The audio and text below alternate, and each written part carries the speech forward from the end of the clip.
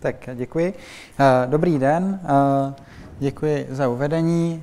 Jsem rád, že jste přišli na moji přednášku. Já navážu na našeho pana, na našeho pana ředitele právě o tom, jak si na naší škole spravujeme ICT a zároveň i o možnosti, jak by to mohlo fungovat na jiných školách. Na úvod se představím, jmenuji se Aleksandr Váge, jsem z Prahy, jsem student čtvrtého ročníku, tudíž teď mě čeká maturita. Studuju na naší škole obor kybernetická bezpečnost, je to i vlastně obor, který mě stále baví. Myslím si, že, myslím si, že jsem se vybral dobře, takže v tom mám i do budoucna v plánu pokračovat. Mezi mé zájmy, tak samozřejmě, ať už je to ta kybernetická bezpečnost a IT, tak hraju golf, mám rád fotbal a taky rád chodím do divadla. Teďka si řekneme o tom, jak to vlastně u nás funguje. Primárně v dnešní době je velký problém v tom, že vlastně státní sektor se potýká s nedostatkem, řekněme, erudovaných IT správců.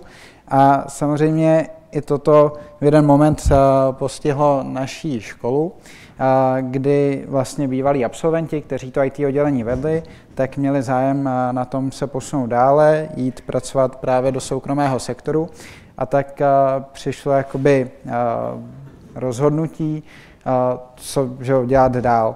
A právě pan ředitel přišel s tím, že by primárně se v tom IT oddělení měli i vzdělávat samostatně studenti, kteří vlastně u nás studují a tomu se tak stalo. Zpočátku jsme fungovali tak, že jsme měli vlastně starší, řekněme, absolventy v podobě našich vedoucích, kteří vedli nás studenty. Nicméně bohužel žádný z nich u nás dlouho nevydržel a tak zhruba po roce jsme se dostali k tomu, že si to kompletně vedeme čistě jako my studenti.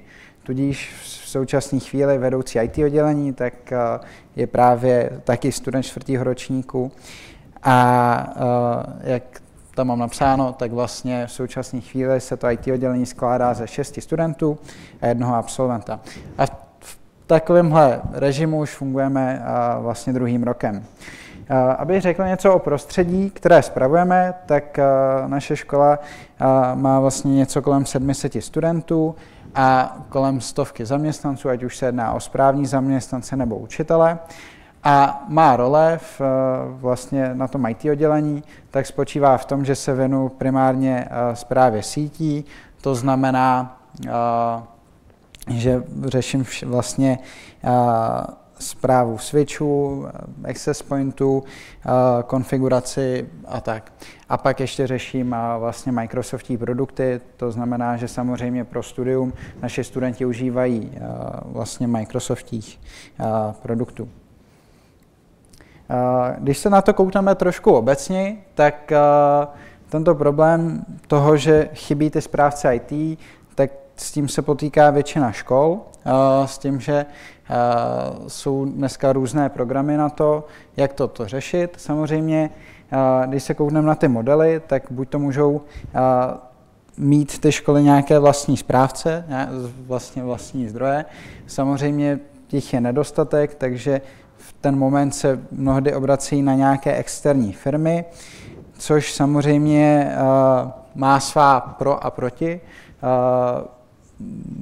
já bych si troufnul říct, že hlavní nevýhodou mnohdy bývá to, že eh, a to teďka na to koukám z toho hlediska, že mimo naší školu ještě zpravu eh, IT na eh, jednom gymnáziu, tak primární nevýhoda je to, že ty firmy mnohdy tam nemohou být samozřejmě každý den a například prostě mají určený jeden den v týdnu, kde tam dojíždějí a samozřejmě nějakým způsobem to limituje provoz té organizace. To znamená, že pokud má nějaký učitel problém s projekcí, počítačem nebo tak, tak samozřejmě trvá nějaký čas, než si to uh, ta škola dokáže s tou firmou třeba vyřešit.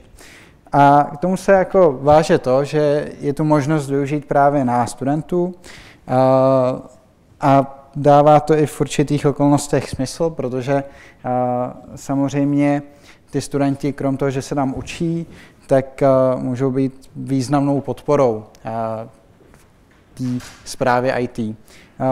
Určitě se dá, dají využít, nebo dáme, můžeme participovat v nějaké technické podpoře koncových uživatelů, to, protože samozřejmě tomu máme nejblíž.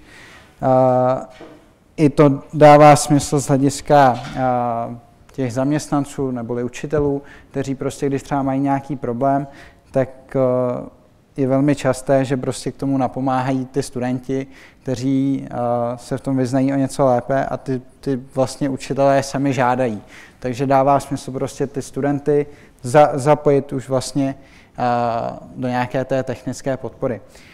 Tomu se váže údržba zařízení, každoročně, nebo řekněme prostě v nějakém časovém horizontu je vždycky třeba udržovat ty zařízení té organizace, ať už se jedná o nějaké čištění, ať už se jedná o nějaké, řekněme, upgradey nebo tak, tak třeba uh, i na to je možné vlastně do toho zapojit ty studenty, že, že pomáhají uh, s tím. A pak samozřejmě se nabízí zpráva sítí a systémů, ale to má, uh, to má svý, jakoby řekněme, omezení, že samozřejmě každá ta organizace si musí nastavit to, kam ty studenty pustí v případě té zprávy. Eh, výhody zapojení studentů.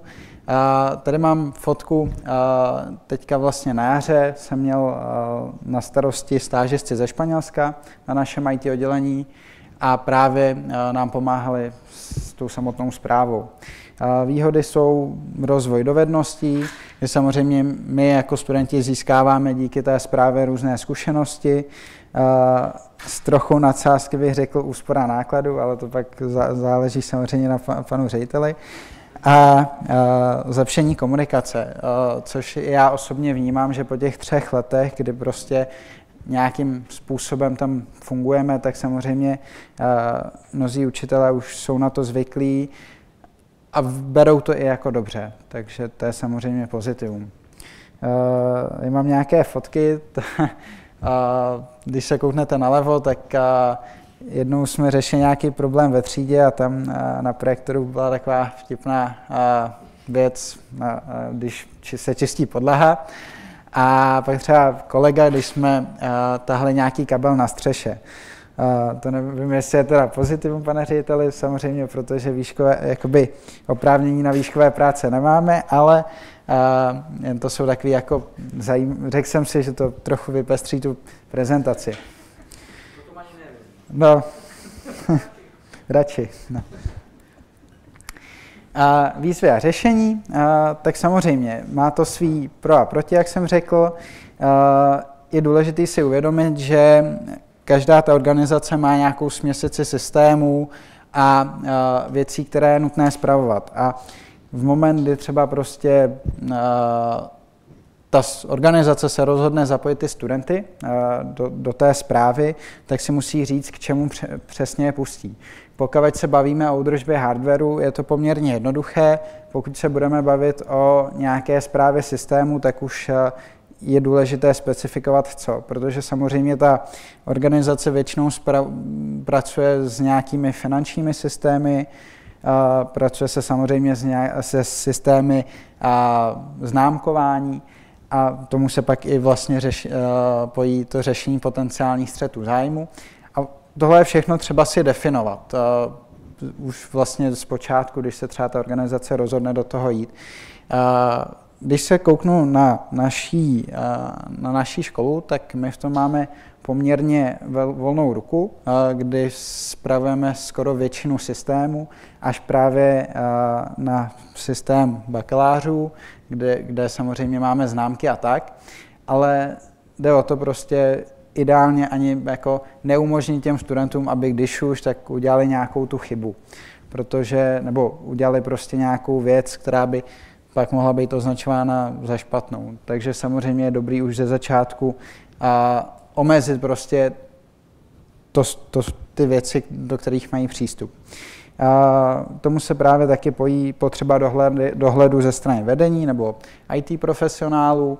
A my třeba u nás, tak to IT oddělení je čistě studentské, ale samozřejmě vlastně máme nad sebou pana zástupce, který s námi většinu kroků konzultuje, to stejně tak pan ředitel a zároveň vlastně si určujeme i nějaké ty kompetence. A pak řešení potenciální střetu zájmu, tak to je vlastně přesně, pojí se to s tím prvním bodem, že je třeba omezit vlastně ty systémy, nebo ano, omezit ty systémy, do kterých ty studenti mohou mít přístup, aby náhodou se nestalo něco, co nemá. Ať už třeba ty bakaláři se známkama, nebo, nebo něco jiného. Nyní vám řeknu něco víc o fungování našeho oddělení za poslední tři roky. Primárně, nebo když jsme přebírali to IT oddělení, tak jsme měli takový problém. A to byl hlavně v tom, že systém, který jsme přebírali, nebyl úplně dobře zdokumentovaný. Neměli jsme úplně zkušenosti s tím, jak se takové věci řídí. A samozřejmě jsme se na mnoho věcí museli přijít sami a během té doby jsme samozřejmě zjišťovali, jak to funguje a zároveň už jsme ale i vymýšleli nějakou koncepci toho, jak to budeme chtít směrovat do budoucna. A já bych zde i rád trochu jako vyzdvihnul systémy, které jsme ať už nasadili, které plánujeme, nebo právě věci, které se nám povedly. Po to, co jsme se nám vlastně povedlo nějakým způsobem zmapovat, jak celá ta síť naše funguje, tak samozřejmě se ukázalo, že máme takový problém v podobě a, vlastně neexistujícího monitoringu jednotlivých prvků té sítě, kdy často se nám třeba stalo, že nějaká služba přestala fungovat nebo nějaký prvek v síti přestal fungovat a my jsme nevěděli, co to bylo za prvek nebo co to bylo za službu což je velmi potom jako obtížné nějakým způsobem detekovat nebo analyzovat, oč se vlastně jedná. Takže eh, minulý rok vlastně jsem společně eh, s, vlastně s jedním spolužákem a ještě se svým kolegou, tak jsme společně nasadili eh, systém centrálního monitoringu, který užíváme na monitorování vlastně jednotlivých prvků v té síti. A nutno, musím jako říct a zaklepat, že nám to funguje, že to používáme vlastně na denní bázi, protože to prostředí, které máme, není úplně malé, máme toho poměrně nadimenzované a když se kouknu, tak denně nám vlastně chodí alerty, informace o tom, kde v jakém serveru je rozbitý disk nebo kde se co dělo. A vlastně nám to velmi pomáhá v té naší práci. Jenom kdybych vlastně nám řekl něco o té infrastruktuře, co máme, tak máme něco kolem 30 switchů napříč budovou, teda 22, teď na to koukám. A máme vlastně velkou serverovnu a všechno tohle to samozřejmě spravujeme a, a musíme dbát na to, aby prostě to bylo během, nebo co nejvíce dostupné, aby to co nejvíce fungovalo.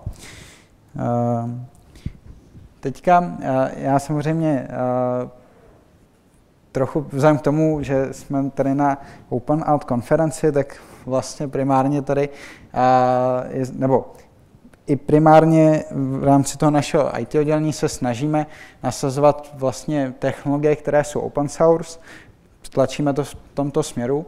A jedině třeba z věcí, která se nám povedla, tak vlastně Povedlo se nám vlastně nasadit Proxmox na všechny naše eh, fyzické boxy, co máme, protože předtím jsme užívali řešení, které úplně nebylo možné centrálně zpravovat, zároveň to nepodporovalo úplně nějaký klastry a takhle.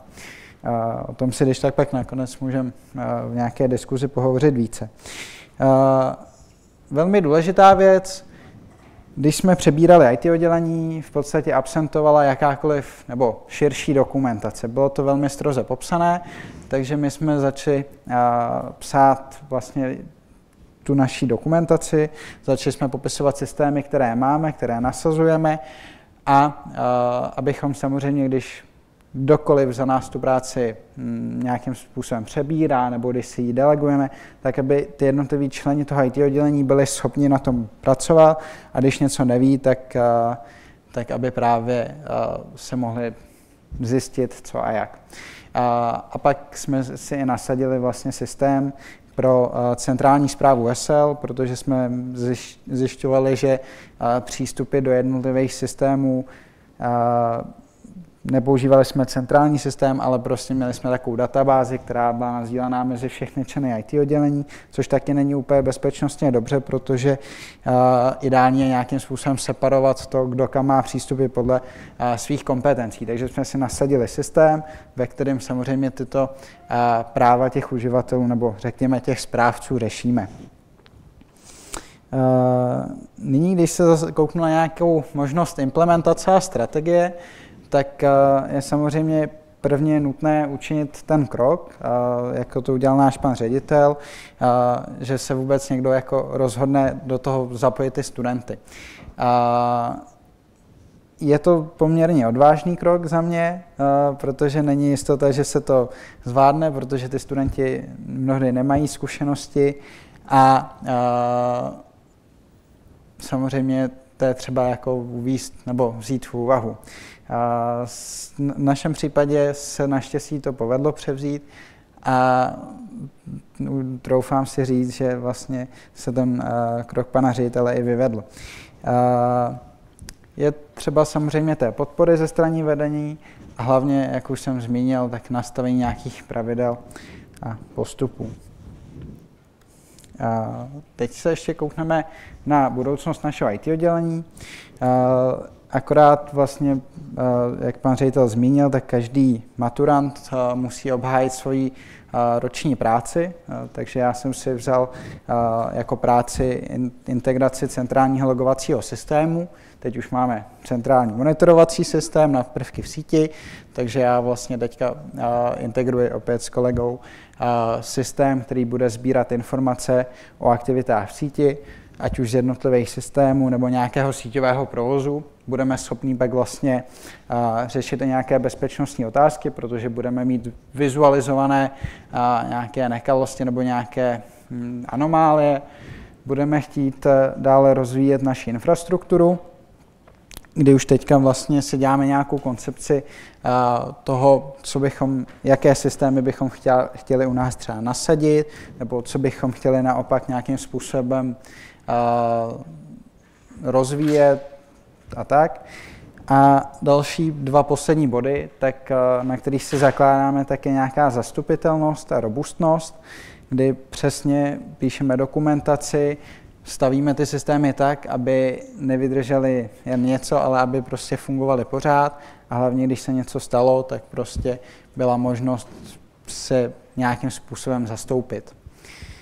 A tohle vlastně z mé prezentace všechno. Bylo to o něco kratší, ale to, to teď může být větší prostor na dotazy a diskuze.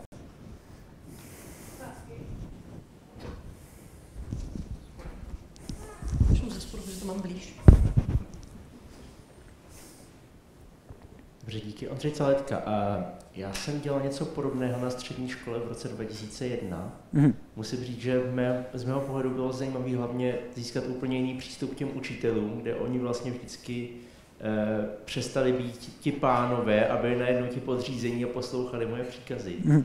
Mě zajímá, jestli to je pořád ten samý případ. Možná některých učitelů to bude stále, jako když jim nefunguje tiskárna a teď jim to spravíte a oni jsou šťastní.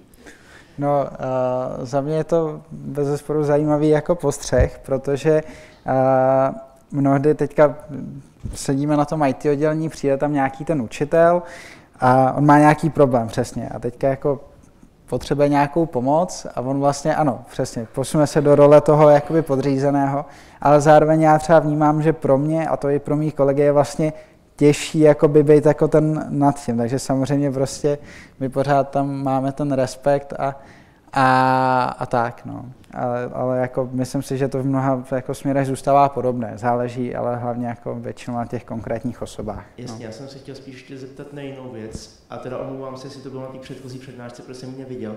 Uh, problém tohohle toho je hlavně ten, že prostě ty studenti jsou na té škole dočasně. Že jo? To je vždycky jako, jo. A jestliže teďka to vede člověk ze čtvrtého ročníku, tak to znamená, že za pár měsíců to nepovede nikdo. Jo? Mhm. A to by mě spíš zajímalo, jestli tam je nějaký proces, jako jak se tam dostanou ty čerství studenti neustále, protože vlastně tam musí být neustálý proces, jak ty studenti tím IT oddělením procházejí. Tak má to nějak vyřešené tohle? Rozumím. No, uh, my jsme se zatím k tomuhle úplně nedostali, protože uh, v podstatě uh, teďka většina těch jako členů toho IT oddělení, tak eh, do ní nastoupila právě jako ve druhém, ve třetím ročníku. To znamená, že zatím jsme v tom koloběhu těch tří let a právě jako uvidí se, co se stane jako potom, až my odmaturujeme. Nicméně tohle jsme teďka řešili během léta eh, s panem ředitelem a my jsme si vlastně eh, stanou, nebo jakoby otevřeně jsme si říkali, kdo má v plánu jakoby pokračovat v té zprávě a kdo ne. A právě vlastně já i jako kolega, který eh, dělá toho vedoucího, tak uh, jakoby máme v plánu jako na tom IT oddělení zůstat. A hlavně pořád hrajeme na nějakou tu možnost té uh, zastupitelnosti, to znamená, že píšeme tu dokumentaci, když někdo přijde, ideálně ho zaučujeme do všeho a tak. Děkuji za pěknou přednášku. Já mám dva dotazy. Jeden je, jestli víte nějaké jiné škole, kde to tak funguje. A druhý dotaz, já jsem dával pozor, vy teda máte všude systém Windows, máte používat tam nějaké jiné systémy? Mm-hmm. Uh, jo, tak uh, v podstatě, uh, když odpovím na tu první otázku, Uh, mimo Smíchovskou střední průmyslovou školu uh, dělám vlastně zprávu ještě na Gymnáziu paměti národa, kde, uh, kde to dělám vlastně s, s ještě s kolegou. A právě před námi to tam fungovalo úplně uh, hodně identicky, co u nás. Byl tam vlastně jeden uh, určený jako vedoucí pracovník a pak tam byl právě jeden student, který se tam o to staral. Takže už troufnu bych si říct, že jako to není ojedinělé. ojedinělé. A co se týče potom systému, tak uh, vlastně uh, na všech klientských počítačích tak samozřejmě provozujeme Windowsy, Nicméně uh, jde o nějakou jako zvyklost a naučenost. Máme něco přes 300 počítačů a udělat krok k tomu, abychom přešli na nějaký alternativní systém, by úplně nebylo jednoduchý. Takže samozřejmě u toho máme v plánu zůstat, ale na rozdíl nebo oproti tomu pak samozřejmě, když řešíme nějaké serverové záležitosti, tak právě jako volíme nějaké open source řešení jak jsem zmínil. No. Že ať už je to ten Zabbix, teďka budu nasazovat Elastic, takže tak. Eh, já jsem měl otázku velice podobnou. Jaké je vlastně množství teda toho open sourceu, eh, který používáte? Já jsem viděl, že máte Active Directory, že existuje svobodná alternativa FreeIPA. Eh, jestli třeba zvažujete, že byste třeba zavedli dual boot, abyste mohli aspoň částečně využívat třeba kdo chce Linux, anebo pokud, jako je spousta věcí, které se na tom Linuxu dají uh, učit nebo uh, vytvářet s nás. Uh, souhlasím. Uh, já osobně se taky považuji víc za uživatele Unixu, byť teda používám macOS, ale uh, vlastně v rámci kybernetické bezpečnosti je jako primární právě užívat ten Linuxový jako ekosystém, takže v některých učebnách, který vlastně kde právě se vyučuje ta kybernetická bezpečnost, tak máme Dualboot eh, na různé distribuce, ať už je to Kali, Linux, ať je to CentOS. Záleží vždycky na nějaký jako konkrétní mm, látce, která se zrovna vyučuje. Ale eh, upřímně nedávno jsem vlastně teďka akorát, když jsme v, sem včera jeli, tak jsme se o tom bavili v, v autě s kolegou, jak těžký by byl ten krok přejít opravdu jako z Windowsu v celé organizaci na, na open source a za mě by to bylo velmi obtížné, protože opravdu jako to množství těch počítačů a už i těch uživatelů, kteří jsou na to navyklí, je hodně velké. A myslím si, že by to úplně nebyl hladký krok. A otázka taky, jestli to má jakoby smysl. My vlastně, když to tak řeknu, tak uh, za mě jakoby Microsoft 365 na nějakou výuku je jako, myslím si, že to jako je kvalitní, takže tak. No. Samozřejmě vím, že jako alternativa, ale, ale potom jako nějakýho mm, jako cloudu, to, to se přiznám, že nevím. No. Můžu mít dotaz, jak se takovýhle vlastně IT řízený studenty popasuje se všema regulacemi, ať je to GDPR, NIS 2 a podobné tady ty směrnice, kterým přijde, že jsou takové jako napsané jako hodně svazující, že vyžadují mnohdy certifikované profesionály a podobně. Mm-hmm. No, v rámci GDPR, tak samozřejmě vlastně, ať my nějakou matriku našich studentů vedeme v bakalářích, to znamená, že to je právě jeden ze systémů, kam my jako studenti nemáme přístup, pak akorát vlastně pracujeme už pouze s jmény v rámci Active Directory, takže to je jedna věc. A mm, jako, když tak řeknu, tak zatím jsme nenarazili na žádné limity v rámci těchto zákonů. Pane řediteli, chcete to doplnit nějak?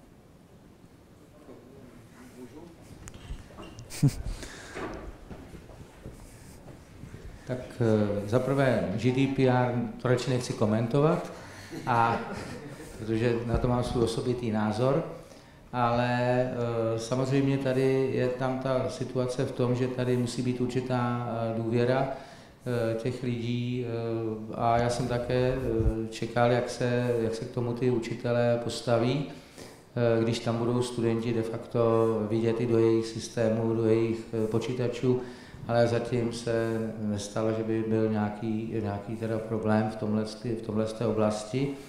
A e, spíš se tam změnila, ono už, tam, ono už je to u nás dost otevřený, ty studenti, učitelé, jak jsem o tom mluvil v předchozí přednášce, takže tam ta komunita, myslím si, že funguje v celku srozumitelně a že to, co řekl tady pan kolega, že si uvědomují, jaký jsou jejich role, kdy je e, v tom kabinetu e, IT oddělení, tak tam je zaměstnanec školy, jinak, co jste říkali z tomu GDPR, oni mají podepsanou pracovní smlouvu, tím pádem, že mají podepsanou pracovní smlouvu, vztahuje se na ně to samé, jako na každého jiného zaměstnance, čili on musí, on musí ctít e, ze zákona všechny věci, co se týká dat, s kterými pracuje a že tam, to, že tam teda se respektují, že jsou nějaké roli učit, eh, zaměstnanců a kolegů těch učitelů, ale pak přijdou do třídy a e, jsou tam zase jiné.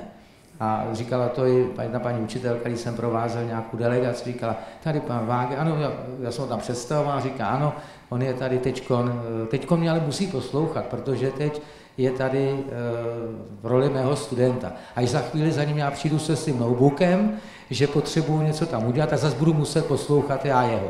A myslím si, že je to docela slušná e, ta věc, která je. A ještě jedna věc, která k tomu je, tady u nás je docela běžné, že ty učitelé a studenti e, určitým způsobem se mezi sebou učí. Tady třeba paní učitelka Majznerová mi říká, je to, já jsem dneska naučila ty studenty tohle z matiky a oni mi naučili tyhle funkce na grafickém tabletu. Takže, takže to využívání navzájem si myslím, že funguje. Já bych měla ještě otázku ohledně, vlastně vy jste zmiňoval uh, nějakou tu budoucnost uh, toho, uh, toho oddělení. A mě by zajímalo, jak moc ta strategie toho IT oddělení, kterou jste nějakým způsobem prezentovali, je v rukou vás jako toho studentského týmu a jak moc do toho mluví třeba vedení školy. Hmm. Já si troufnu říct, že ta strategie jako skoro celá v našich rukou. Pouze vlastně vedení školy má primárně zájem na tom, aby to oddělení fungovalo, aby ideálně ty lidé, kteří tam jsou, tak aby nějakým způsobem tam pokračovali i po skončení toho svého studia. A stejně tak i pro pana ředitele vlastně byla stěžení ta zastupitelnost. To znamená přesně, aby ty jednotlivé systémy v tom IT oddělení, tak aby nezávisely na jednom člověku, ale aby v případě, že ať už jeden z nás odejde nebo se něco stane, tak prostě, aby to mohl převzít kdokoliv další. Já to jenom doplním, že jak tady o tom mluvil o prázdninách, jsme si sedli s tím IT oddělením a ptal jsem se, jak to vidí dál. A byl tam vedoucím pan Bartuně, který je teď spolužákem pana uh, Vágeho a pan Vokurka, který byl taky ve třetíku uh, před prázdniny, tak uh, jsme se dohodli, že teď vlastně od října převzal vedení pan Vokurka, který je ve třetím ročníku protože on bude na té škole zůstávat. A pan Bartuněk tam bude studovat, teda pracovat, pracuje tam dál už ne jako vedoucí, ale jako člen, aby to pak se nepředávalo na konci roku ve zmatku, ale aby už ten nový vedoucí si to mohl dělat s tím, že pan Bartuněk pak chce, eh, bude studovat v zahraničí, už má naplánováno, ale eh, samozřejmě asi pravděpodobně bude s nimi dál spolupracovat třeba na dálku, Eh, ale když nebude už v místě, tak by bylo nelogické, aby byl vedoucí, takže jako jsme se dohodli a změn, tu změnu jsem udělal teď v říjnu, ale fungují tam takhle dál, takže, takže už o tom přemýšlíme. A samozřejmě jsem jim říkal, aby i oni mysleli na to, že tam třeba do toho zaptáhnou další studenty z nižších ročníků.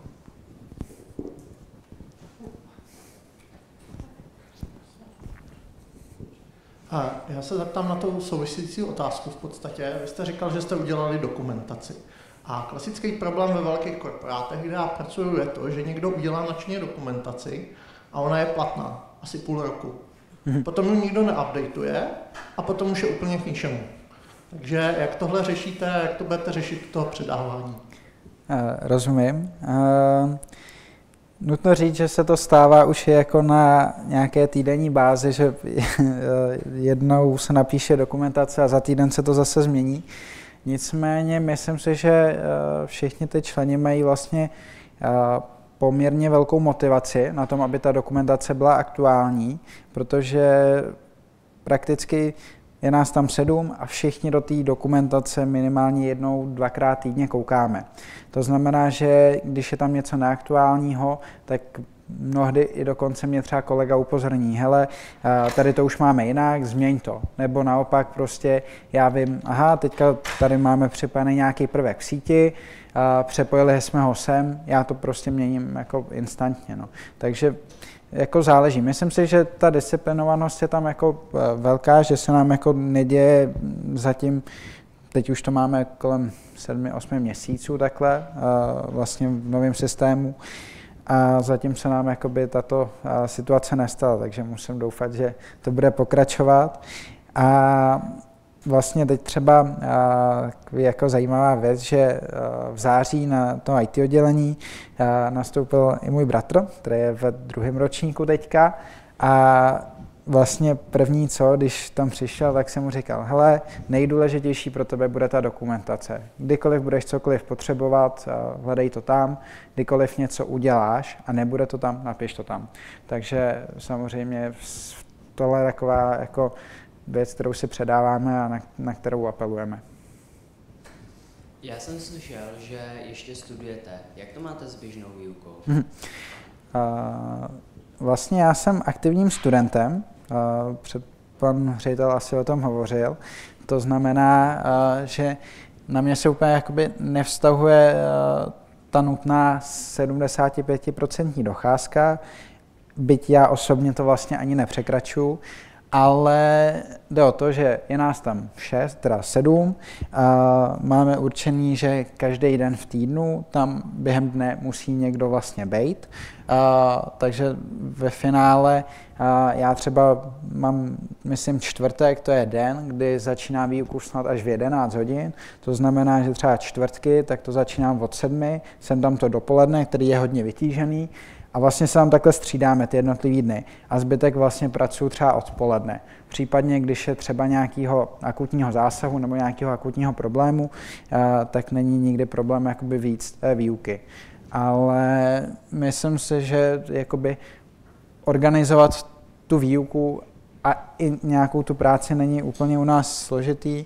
Ta škola je tomu velmi nakloněná a akorát vlastně třeba si hlídat vždycky povinnosti. Takže já vždycky, když mám hodinu, kde se píše test, tak já osobně vyrazím strategii, že čím dřív to mám za sebou, tím lepší, takže já prostě se snažím jít vždycky na, prostě na tu hodinu, když je test, napsat si to, ale když třeba jenom jako hodina s nějakým výkladem, tak většinou, a je třeba něco udělat, tak třeba z té hodiny jdu a pak se to nějakým způsobem doplním.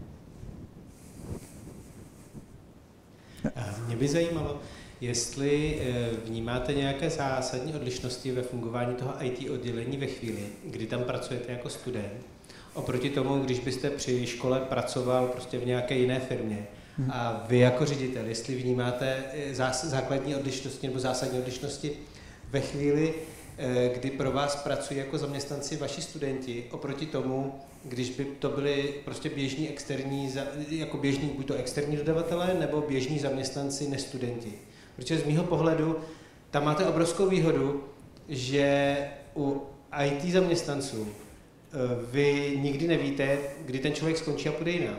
Když to, eh, když tam pracujete jako studenti, tak máte v podstatě jistotu, že čtyři roky, téměř jistotu, že čtyři roky ten člověk tam bude. Což dává z mýho pohledu jako úplně úžasné možnosti z hlediska plánování a třeba eh, jak profesního růstu těch lidí, tak i plánování rozvoje té infrastruktury, protože občas se někde, třeba v těch korporacích naplánuje nějaký projekt, pak se to oddělení sebere a odejde jinam, protože ho zaplatějí a celý to zhroutí jak domeček z karet, protože tam není na předávání školní rok nebo dva školní roky, tam je na předávání tři měsíce výpovědní lhuty, pokud ty lidi jsou slušně a vydrží. Tak by mě zajímalo, jako, jak to s obou stran vnímáte, jako jestli je to nějak zásadně odlišné oproti tomu běžnému modelu jako běžných zaměstnanců. Hmm. Tak eh, já začnu jako student. Uh, já to vnímám, tu možnost pracovat na tom IT oddělení jako ohromný benefit, protože výhoda toho, že to je vlastně ve škole, že to je vlastně organizace, kde studuju, tak uh, se dá perfektně kloubit s tou školou. Uh, nemusím za prvý nikam přejíždět, uh, za druhý samozřejmě uh, všichni vlastně vědí, že priorita je to vzdělání, to znamená, že kdyby se něco nedařilo vlastně, tak uh, to vzdělání má vlastně tu prioritu a, a vlastně je to jako perfektní takhle. No. Takže to je asi všechno. No, eh, samozřejmě, eh, my jsme byli v tom předtím také, ty předchozí eh, tři lidé, co byli v tom oddělení, kteří tam pracovali, my máme tam přibližně tři úvazky, který si teď rozdělilo těch sedm lidí na to IT oddělení. A z těch tří, co tam měli, co tam byli, tak to byli už letití absolventi, Jeden teď, myslím, že z nich spravuje nějakou záchrannou službu jako šéf hlavní, další je u nějakých služeb, které se nejmenují tajných, takže a ten třetí dostudoval eh, vysokou školu, ten byl nejmladší a potom nastoupil do korporátu za úplně jiný peníze. Takže to, ale bylo to bohužel v jednu dobu náhod, jo? takže tam nebyla možnost nějaké té kontinuity. Eh, a to se, eh, to se, to bylo, tohle běželo asi sedm let, takhle tenhle model. Takže teď právě se to, co říkal tady více, tačím na tu zastupitelnost, na to, aby toho byli zapojeni další lidé. U nás je běžné, že ty absolventi zůstávají na škole, já jsem mluvil tady o tom při předchozí přednášce, že tam mám 100 absolventů, kteří spolupracují v různých rolích. Říkal jsem, že tam z 82 učitelů je 46 absolventů, dokonce jsou tam dva studenti, kteří jsou učitelé v roli učitelů a e, tak dále.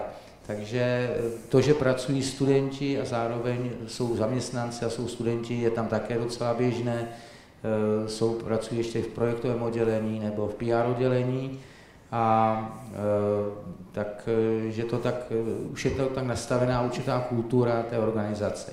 Benefit je samozřejmě v tom, že je tam, že asi neodejdou během toho studia, od nás téměř nikdo neodchází, což je daný tím výběrem eh, lidí, kteří u nás studují, takže málo kdy se stane, že by student nedokončil eh, studium, ale může se stát, že dostane nějakou lepší nabídku nebo se zapojí do nějakého projektu a třeba může z toho oddělení odejít, takže o tom komunikujeme spolu a diskutujeme a proto chci tu zastupitelnost, aby tam do toho zapojovali i ty studenti nižších ročníků, a případně, když by někdo odcházel, tak tam budou uh, mít, uh, třeba se zvýší úvazek tomu studentovi, který tam teď, já myslím, váš bratr je na 0,2 nebo něco takového, tak pak se může stát, že když pan Bartu někdo odejde studovat do zahraničí, takže jeho na úvazek se třeba navýší, máte teď 0,5 nebo 0,5, 0,5, takže se mu navýší třeba taky na 0,5. Eh, měli jsme tam jeden takový zajímavost, možná řeknu ještě z minulého roku, kdy mi zmizela hospodářka Jedna šla na magistrát a druhá tam že jako že nastoupí, nechala si ještě měsíc převis zaplatit a těsně v srpnu mi řekla, že tam je tolik aktivit a tolik projektů, že je toho strašně moc, že se nenechá zavřít a odešla. A já jsem zůstal tři dny před začátkem školního roku bez hospodáře. No a pak přišel uh, nějaká diskuze a student čtvrtého ročníku tehdy řekl, že on dělá už nějakého hospodáře v nějakém skautském klubu nebo co, a že by to vzal a že, by, že, by po, že pak bude studovat vysokou školu ekonomickou, že jsem to hodilo a že když mu to dám, takže pak tam bude, eh, tak tam bude teda pokračovat i na té vysoké škole jako hospodář. A nad se, to, měl, to byl jeden úvazek celý, měl jako student čtvrtého ročníku a jeden celý úvazek jako hospodář.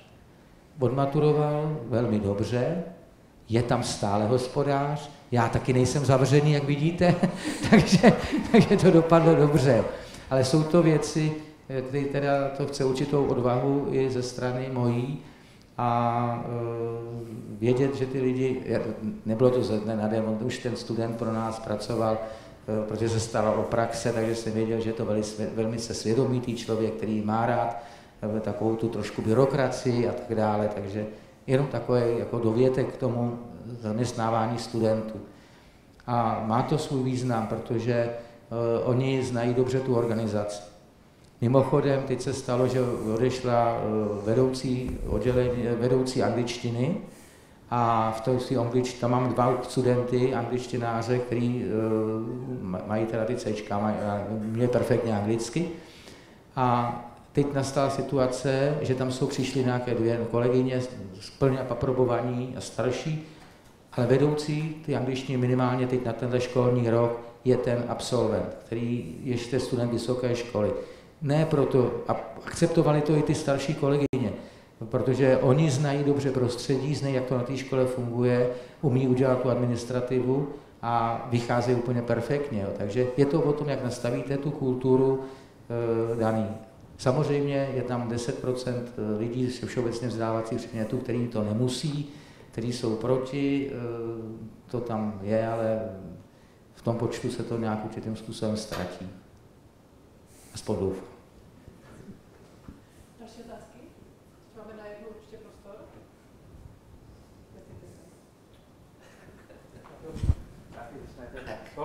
Já dám jednu takovou s nadsázkou. Berete úplatky za data uživatelů? ne, nebereme, nebereme.